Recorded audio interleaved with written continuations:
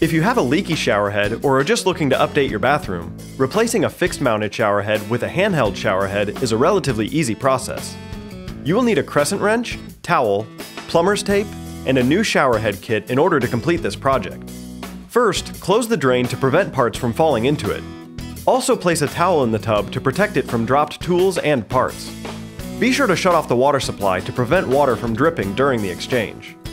Next, remove the old shower head, turning the shower head counterclockwise. If this can't be done by hand, use a crescent wrench, being careful to not scratch the finish. Remove the old plumber's tape and make sure the shower arm threads are clean. Next, wrap the threads with new plumber's tape.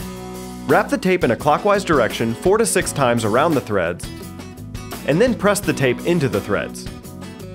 Now it's time to install the new handheld shower head. First, screw the handheld shower mount onto the shower arm and tighten by hand, but be careful to not over tighten this connection. Connect the flexible shower hose to the mount and to the shower head following the manufacturer's instructions. Place the handheld shower head into the mount. Turn your main water supply back on and then run water in the shower to check for leaks.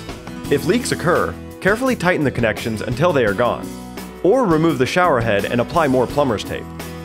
If you have any questions about this process, call Advantage Inspection Service at 602 864 8331